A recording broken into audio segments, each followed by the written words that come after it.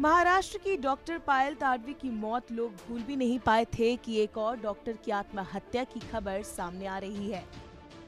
हरियाणा के रोहतक में Pandit Bhagwat Dayal Sharma post graduate institute of medical science में MD की पढ़ाई करने वाले कर्नाटक के 30 वर्षीय डॉक्टर ओंकार ने आत्महत्या कर ली। बताया जा रहा है कि मृतक डॉक्टर ने अपनी बहन की शादी में जाने के लिए छुट्टी मांगी थी। जिसे उसके एचओडी ने खारिज कर दिया। इससे नाराज़ होकर डॉक्टर ने अपनी ज़िंदगी खत्म करने का फैसला कर लिया। बता दें, इस घटना के विरोध में सभी डॉक्टर ने हड़ताल करके अपना विरोध जताया।